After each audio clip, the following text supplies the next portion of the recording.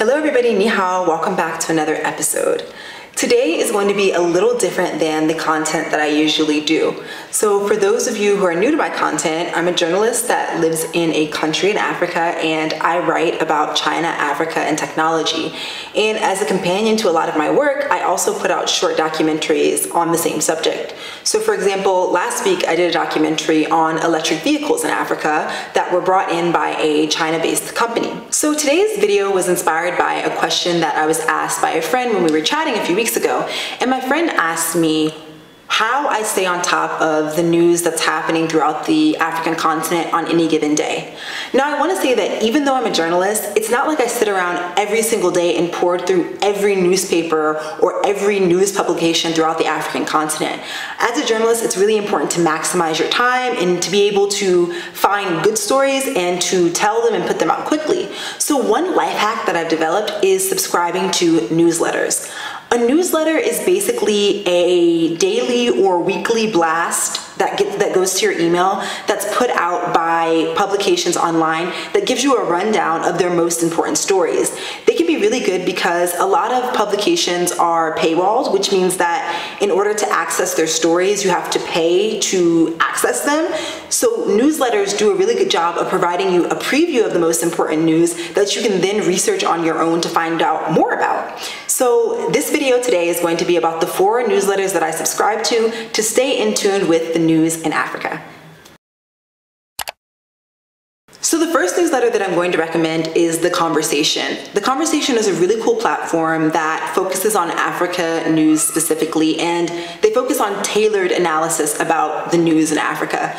The one thing that I really love about The Conversation is that they have a lot of African female journalists that write for their platform, and you'd be surprised, but that's something that's really hard to find even in the continent, especially for platforms that are targeted to a international audience. The other cool thing about the conversation is that they distribute their newsletter not just via email, but also via WhatsApp bulletin. So if you text their phone number right here via WhatsApp, you can get a bi-weekly news blast sent to your WhatsApp.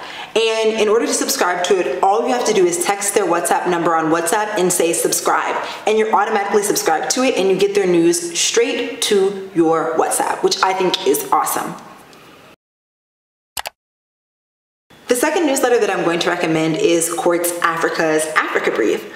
Now, I'm not just recommending Quartz Africa because I used to write for them. I did used to write for them and I do really respect them as a platform, but I'm right, I'm recommending Quartz Africa because they are one of the few platforms that offer really good business journalism that focuses on Africa. And really think Quartz Africa is a great platform to access more niche topics that you won't find anywhere else about business that's going on in Africa. Whenever I want to learn about a startup or I want to start researching a startup, I'll go to Quartz Africa first. Now the bad thing about Quartz Africa is that their subscription can be a little bit a little bit expensive. So that's why subscribing to their newsletter is really great. And I think they do a bi-weekly or a daily newsletter that's free to subscribe to, of course, and provides a rundown of all of their best stories on their platform.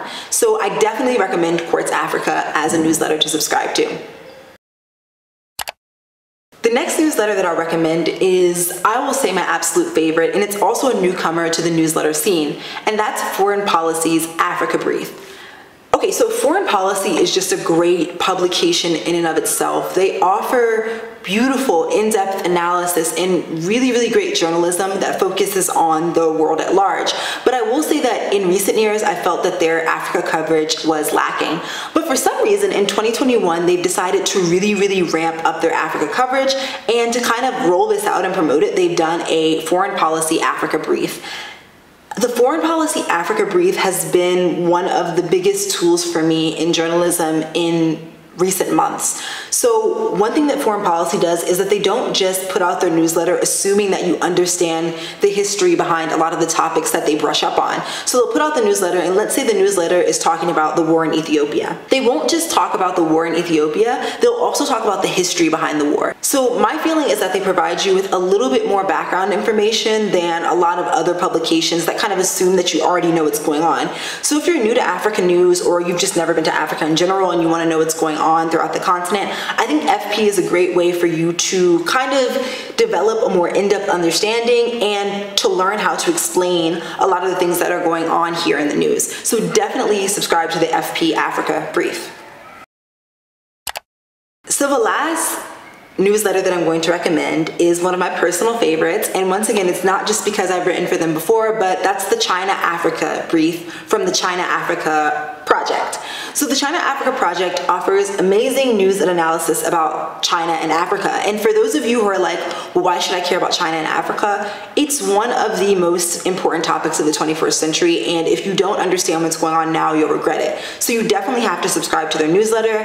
They have two versions of their newsletter. One newsletter that is free to everyone. So you subscribe to it and it's free. And then they also have a paid newsletter. And I think for the subscription, I forget how much it is per year, but it's definitely worth it. The China Africa Project newsletter is really great for learning about the global south as well. So they don't just focus on Africa. Recently, they've expanded to the global south, which includes countries like India. So if you're interested in what's happening between China, Africa, and India, or China and India, it's also a great resource for that, and I definitely recommend it.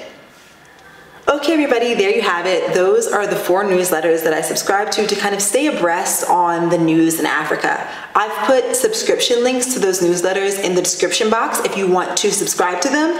And I also want to do a video later on about local platforms that I read to stay abreast on news in specific African countries. I'm gonna wait on that one a little bit because I do think that some of those platforms, as with a lot of plat news platforms, have biases and I want to kind of tease out the biases and advise clearly on how you should read those platforms with that bias in mind. Until then, I hope that you start reading more news in Africa because it's a wonderful continent where a thousand things are happening on any given day and it's the future. So if you like this video, please like and subscribe and I will see you next time. Bye.